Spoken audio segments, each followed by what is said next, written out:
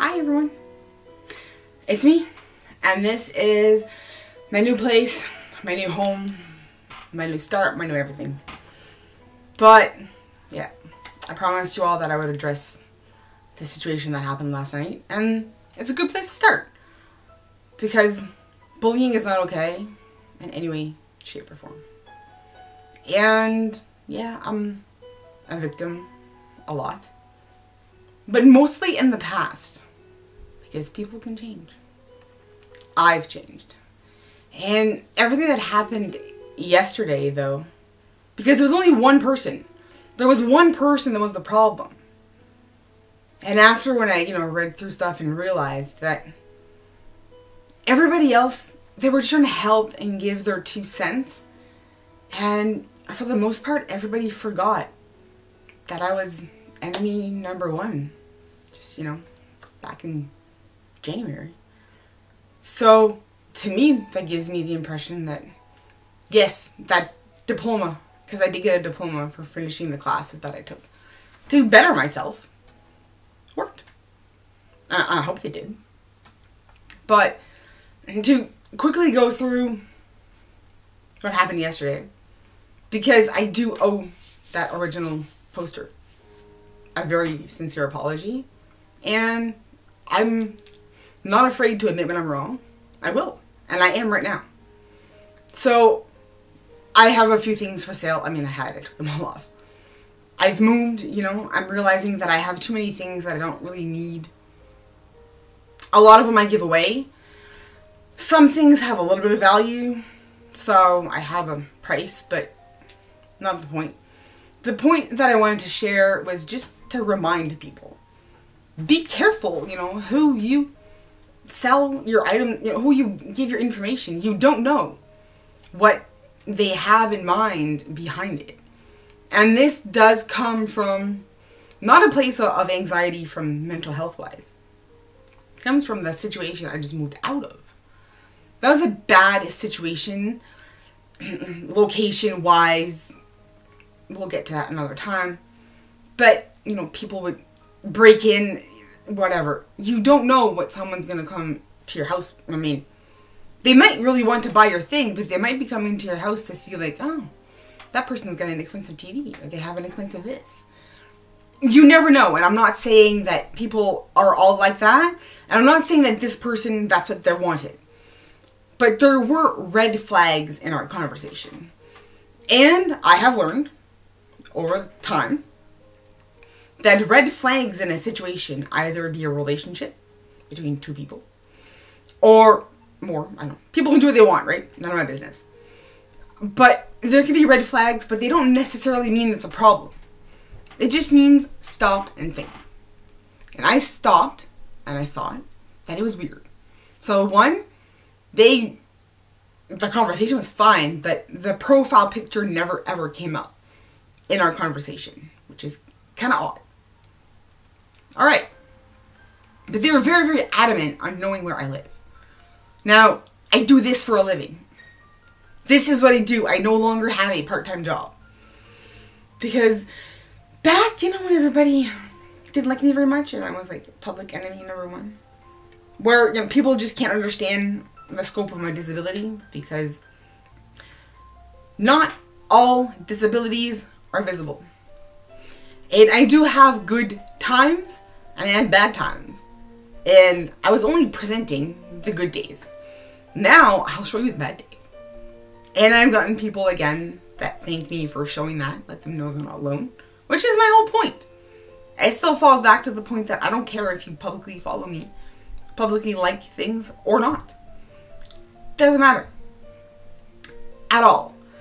Because things are happening, I am now officially able to call myself a social media influencer. The email just came in this morning. I can I haven't looked through it yet, but that's where all the ads and the plans you can apply for them and whatnot. Am I getting things in the mail to review? Yeah. There's more things coming. I actually signed a contract. So those things are coming. So all those people that were very, very mad told me that I needed to get myself a job. You know, work from home, dear. I am working from home and I have a job. I don't think this is what they meant, but hey. I do things to the best of my capability. But yes, that's one of the reasons why I don't want people to know where I live. There, there is an address, you know, it's obviously a spoof address, but I, I don't want people to come to my house. And I think anybody, if you're in a position where like the whole world sees you, you might not want just anybody showing up at your door. So I wasn't very comfortable in giving my address. And I've had a lot of no-shows. People will be like, I'll be there at 7, I'll be there at whatever. No, they never showed up, so I waited around. And that's kind of the rule of thumb. I don't think anybody out there, and it wasn't anything against this particular person.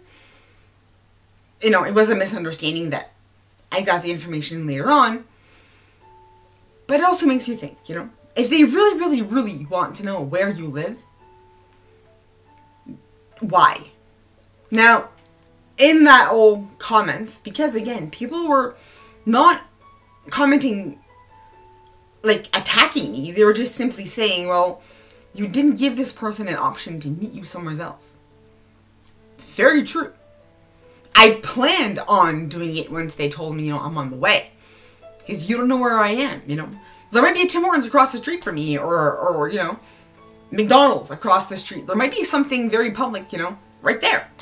And if I never tell you I live across the street, then you're never gonna know. But they were right. I did not give that information straight out, and well, things happen. Misunderstanding happens. So that person, I did try to reach out to them to know, but they had me blocked. And that was another red flag. As soon as I wouldn't give them the address, they got mad at me and they blocked me straight off, which in all most indications that doesn't that's not a good thing. So I have her name, I'm gonna read it. Natalie Papazian. I hopefully said that right. I'm sorry. I'm sorry that I put your information out there, that I thought you were a bad person. But the actions that you had, in my mind, with my past experiences of, you know, living in crappy neighborhoods. Actually, it was a great neighborhood, which is a crappy building. It was a little bit odd. Now, I would have responded to her immediately because as soon as she saw that her information's out there, she started commenting, like, take this down and, you know, explaining what happened. I, I would have. If it wasn't for that third party person that had nothing to do with the situation whatsoever, but was just there to call me a whore. Straight off. This is was her comment. I'm going to be nice enough, and I'm not going to share her name. Even though I could. But I'm not. So I hope that her RCMP member son, that's in the picture, tells her to not do this anymore.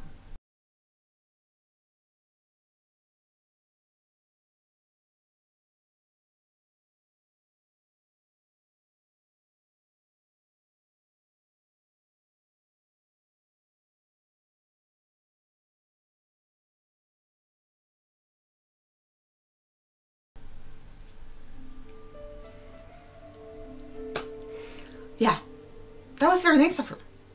So there's all these threats coming at me, and obviously I'm gonna defend myself to somebody telling me that I make money in exchange for sexual favors or whatnot. No, this pays the bills. Straight up. It does. Mostly Instagram, but I still do the YouTube part on top of it, but that's not the point. That's how I pay my bills. For real. Social development, they get all they know. They see it all. But calling me that was unmerited and it had no place in that conversation. She had no place in there to say that either. It, it was just someone jumping in. I don't know why. I'm still in the process of learning society and why people act the way they do. Because on top of, of all those things, it just turns out that most of my stuff is that I'm high functioning autistic. So some things in this world I just don't get. But I have to learn. Because this is something I said before and I will say again. There's like, what, 8 billion people on this planet? Give or take a few. And I am me. if I expect the rest of these 8 billion people to bow down and accommodate me for every single thing that makes me uncomfortable, it's not gonna happen. I'm gonna live a very miserable life. And unfortunately, I, I have friends who are still kind of there, and I feel so bad for them. But that's another day. Just if you think about the Tri-City area, I do believe our population for, you know, Moncton Riverview is about 250,000 people.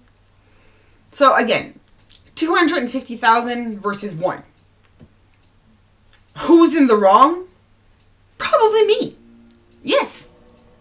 I need to learn how to fit in with all of you. And for the most part, I have. And then there's the few odd ducks. And again, some people are odd ducks because that's just their personality. That's just how they am. I have to learn to deal with that. Some people are just having a bad day.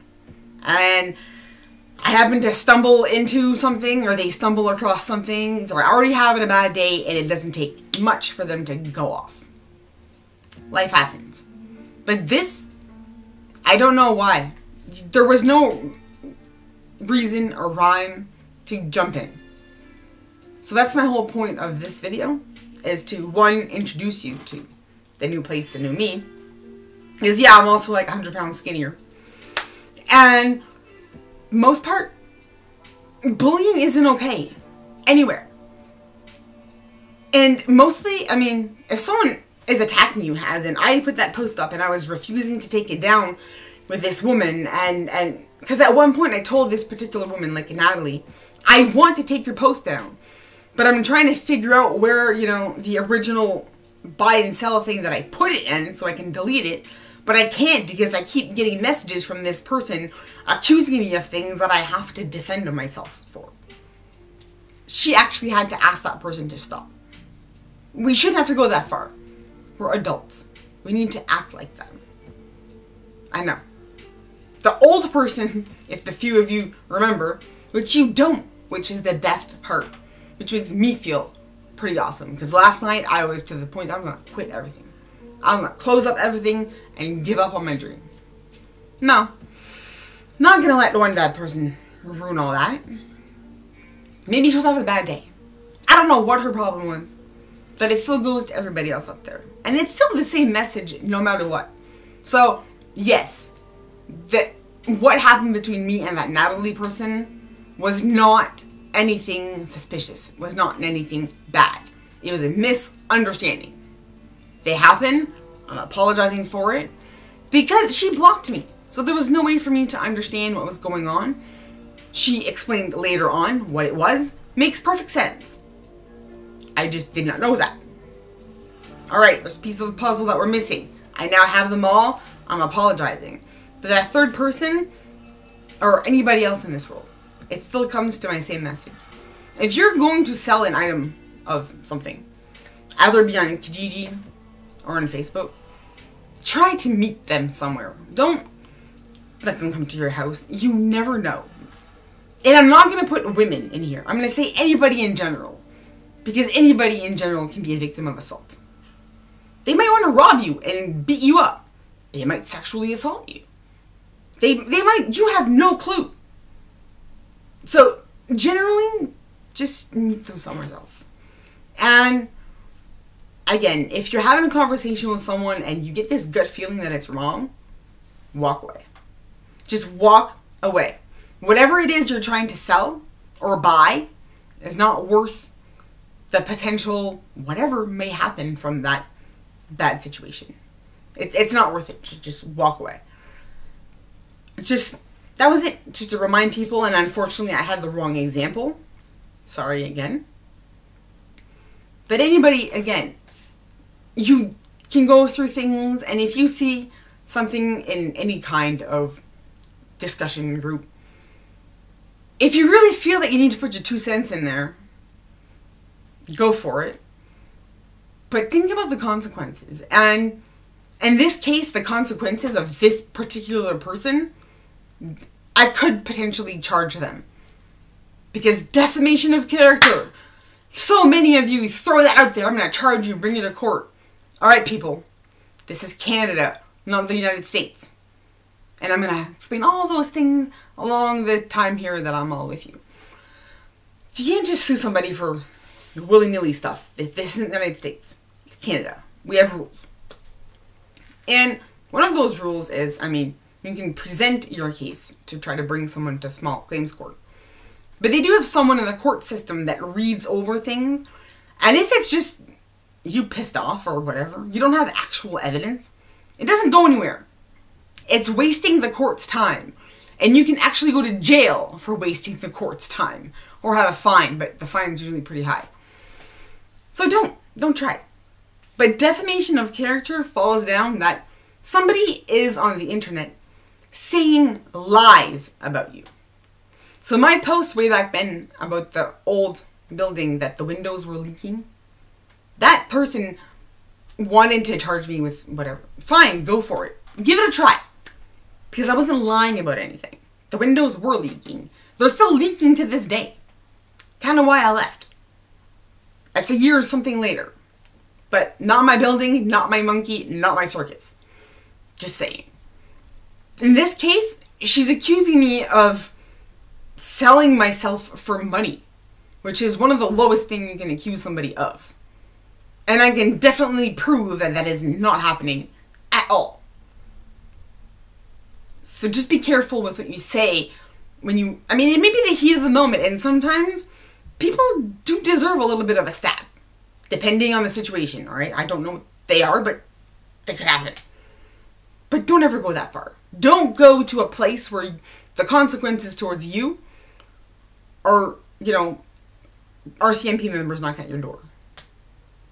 That's what I say about this.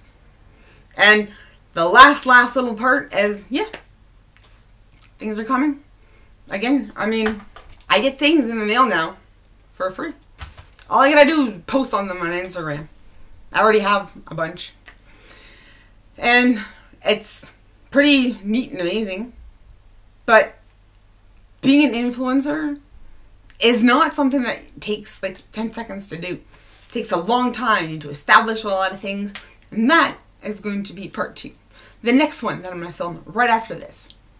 So if you want to watch that other part, tune in. If you don't, don't. I'm not going to tell you to subscribe or click like or whatever because I don't care. Because neither do the analytics.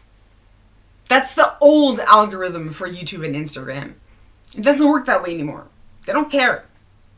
Because yeah, if anybody looks at my Instagram, I don't even have 150 followers. My YouTube has 12 followers, I think. That's about it. It doesn't matter how many people actually follow you or click or subscribe or whatever. The analytics gets to see the traffic. They see how many people look at your stuff every single day. They see if you have an audience, if people are engaging, talking back, and whatnot. That's what's important, and that is happening here. So I understand that the topic that I'm talking about, mental health stuff, and the fact that I no longer have any, you know, conflict of interest things that I can't talk about because I no longer work at Numeris. I'm gonna go there and bring some things that involve politics and all that whatnot. And yes, you know, debates with actual facts and actual opinions that make sense, sure, have them. I'll join. We'll go there. We'll talk like adults. But those things are, they're all coming. And it's not something that that's easy. And yeah, they look at all those comings and goings. So there might be makeup one day. The next day, it might be like, hey, do you really want to know that Bell's lying to you? Because they are. So, with all that, it was a lot to put in there. I'm sorry if I overwhelmed anybody. If you had any questions, there's comment section underneath. Ask away. Go for it. I'll clarify things up. And if anybody thinks I've missaid something, if you ever think I've lied or have wrong information, don't hesitate to let me know. Because if it's wrong, I'll come back and correct it. Because, yes, and the whole part of yesterday, I thought Natalie's phone number was not an actual phone number. I could not call it, I could not text it, I figured it was not correct. And somebody told me that it was a real number and I looked it up and they were right. So I ordered two apologies, which I just gave. I hope that's enough. Either way. This is my new thing, my new home, my new everything, and I thank every single one of you for being along, and I hope you still keep coming because there's way more awesome stuff coming in there. And until then, have a great day.